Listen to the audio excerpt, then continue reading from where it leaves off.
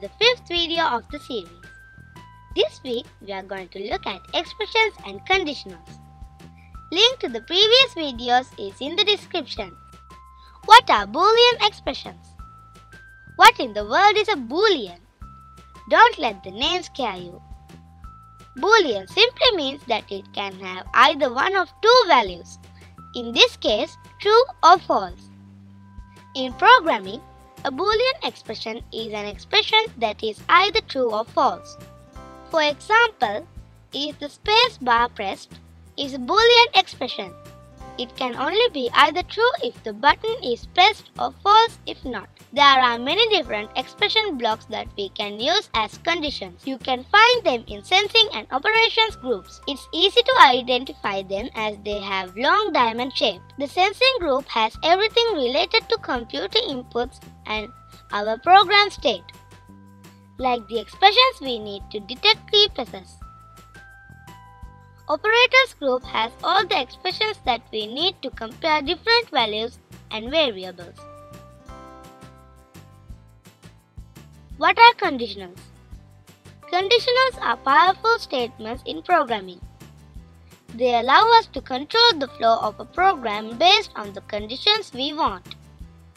These can execute certain sets of instructions if the condition is true or another set if it's false. There are two main conditional blocks under the control group. If then block is the most basic type of them.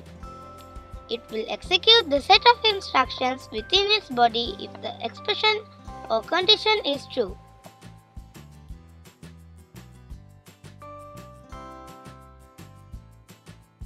The if then else block takes an extra set of instructions under its body. This set of instructions only get executed if the condition is not true. This is very useful when we need to perform different sets of instructions when the condition is true or false. The best way to understand them is by seeing them in action. Let's start with the start event. We use a forever loop to keep this program running continuously and keep checking our conditions. First we need an if then else statement. We use the key press block from the sensing group to check if the right arrow is pressed.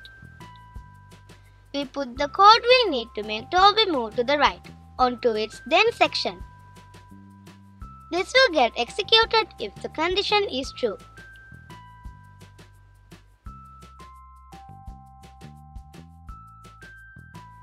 If the condition is not true, it will execute the else section. Here we are going to use an if then block to check whether the left arrow key is pressed. In its then section we put the code which needs to move Tobi to the right if the condition is true.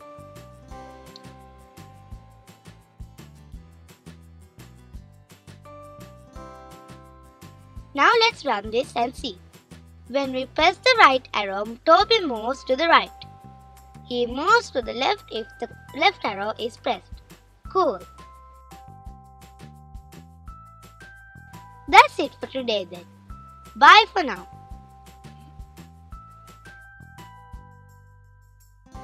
Please subscribe to my channel if you enjoy this video.